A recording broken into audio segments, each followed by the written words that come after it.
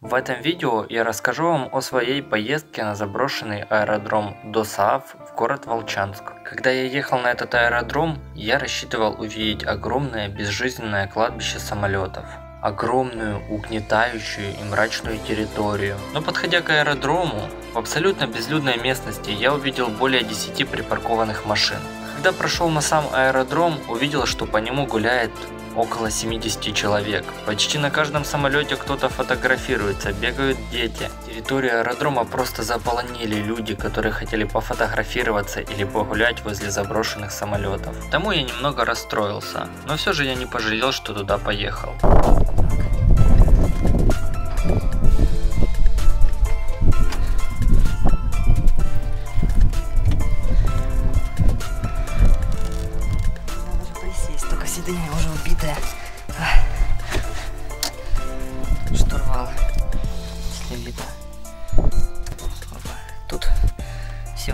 Рычаги. Даже понятия не имею, как это все опять же работало.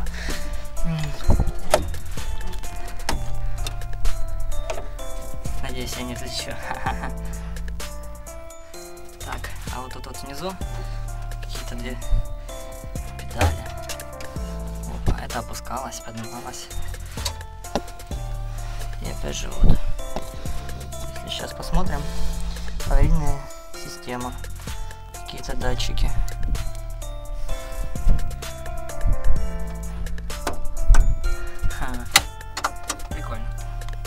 ДОСААФ расшифровывается как Добровольческое общество содействия армии, авиации и флоту.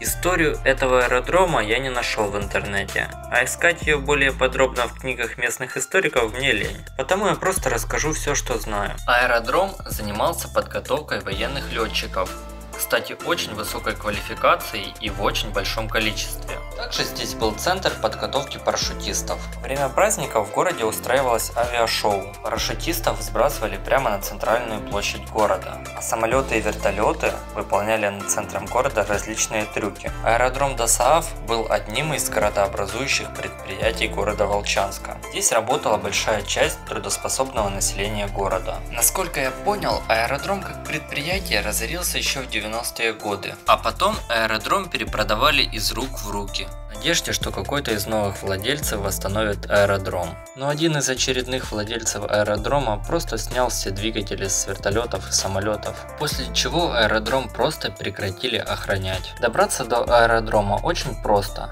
Нужно выйти на центральную улицу города Волчанска и все время двигаться прямо. Примерно в 20 минутах ходьбы от центральной площади ты упираешься в ворота аэродрома. Ворота закрыты, но сбоку от ворот огромная дыра в заборе, через которую протоптана здоровенная тропинка. По обе стороны от этой аллеи в кустах находятся заброшенные ангары, абсолютно пустые.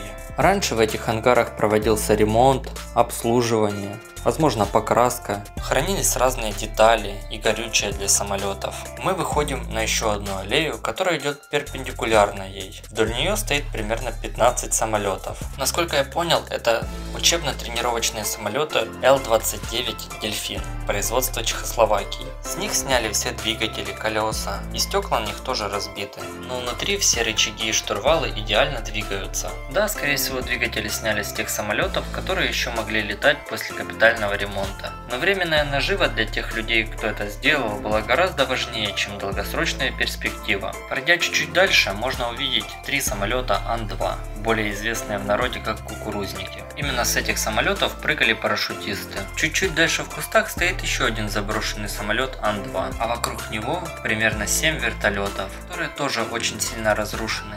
С них сняли лопасти, двигатели, разбили стекла, и от них остался один каркас. Идя немного в сторону от кладбища самолетов, можно найти несколько ангаров, но они абсолютно пустые и в них нет ничего интересного. Я могу предположить несколько вариантов развития этого места. Первый вариант. Кладбище самолетов распилят на металл, а постройки разберут на строительные материалы. И я думаю, никто не удивится такому ходу событий. А второй вариант такой.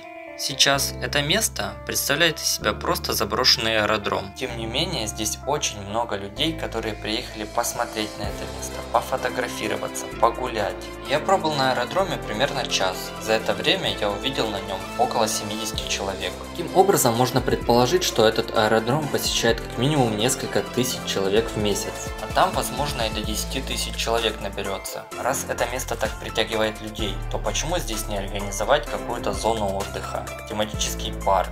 самое идеальное, что здесь можно придумать, это организовывать фестивали и концерты. Например, в Германии очень популярны фестивали на заброшенных местах. Ну, правда, там заброшенные места не так разворовывают и выглядят они гораздо лучше. Но если хорошо поискать, то можно найти много фестивалей и парков, которые в Германии организованы на кладбищах самолетов. Да и на территории СНГ таких фестивалей немало. Достаточно вспомнить фестиваль Казантип, который проводился в заброшенной Крымской атомной электростанции. Фестивали, которые проводятся в заброшенных военных частях в Карпатах. Или хотя бы ту же арт-механику в Харькове. Так что я надеюсь, что аэродром в Волчанске, ДОСААФ, превратится в крутую развлекательную зону и место, которое будет притягивать туристов в наш регион. А на этом у меня все. Надеюсь вам было интересно. Спасибо за просмотр. До новых встреч.